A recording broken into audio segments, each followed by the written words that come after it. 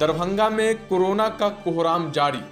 लगातार हम आपको अपने चैनल के माध्यम से कोरोना की तमाम छोटी बड़ी जानकारी आप तक पहुँचा रहे हैं। इसलिए अगर अभी तक आपने हमारे चैनल को सब्सक्राइब नहीं किया है तो चैनल को सब्सक्राइब करें और प्रेस करें बेल आइकन ताकि हर खबर पहुँचे सबसे पहले आप तक। डीएमसीएच में 460 सैंपल की जाँच में 45 पॉजिटिव। दरभंगा में आज 18 कोरोना पॉजिटिव मिले हैं, जिसमें 12 शहरी क्षेत्र के राज्य सरकार के निर्देश के बाद कोरोना मरीज़ को इलाज के लिए बाहर रेफर नहीं किया जाएगा। डीएमसीएच में 100 बेड को कोरोना मरीजों के लिए निर्धारित किया गया है। मात्र 6 बेड का आइसोलेशन जिसमें सभी सुविधाएँ वेंटिलेटर के साथ उपलब्ध हैं। दरभंगा में अभी तक लॉकडाउन की संभावना नहीं देखी जा रही है।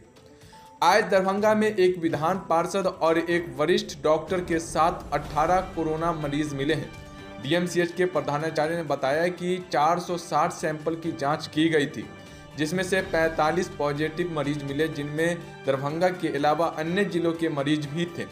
वहीं डीएमसीएच के अधीक्षक ने बताया कि आज दरभंगा में 18 कोरोना पॉजिटिव मिले हैं, जिनमें 12 शहरी क्षेत्र के हैं। उन्होंने बताया कि अब कोरोना मरीज़ को इलाज के लिए बाहर रेफर नहीं किया जाएगा।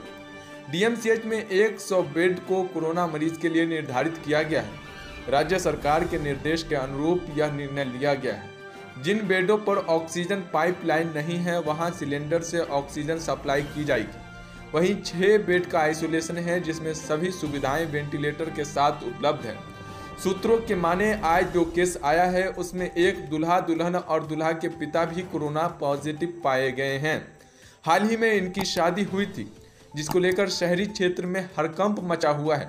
कल भी एक कोरोना पॉजिटिव मरीज़ की यहाँ मौत हुई है। फिर भी लोग मास्क के उपयोग में कोताही बरत रहे हैं। देहाती क्षेत्रों में तो 90 परसेंट लोग मास्क का उपयोग नहीं कर रहे हैं। जबकि शहरी क्षेत्र के भीतर भी मास्क को लेकर उतनी तत्परता नहीं देखी जा रही है। जिस तरह से दरभंगा शहर में सड़कों पे भीड़ और जाम देखने को मिल रहा है और सोशल डिस्टेंसिंग का धज्जिया हर जगह उड़ाई जा रही है, जिस तरह से यहाँ हर रोज पॉजिटिव केस बढ़ रहे हैं, उससे स्थिति भयावह ही कही जाएगी। यद्यपि जिला प्रशासन की ओर से मास्क को लेकर अभियान चलाया जा रहा है। प्रतिदिन जुर्माना भी हो रहा है। जागरूकता भी चलाई जा रही है, पर लोग जानबूझकर गलतियाँ कर रहे हैं। ऐसे में स्थिति और बिगड़ सकती है।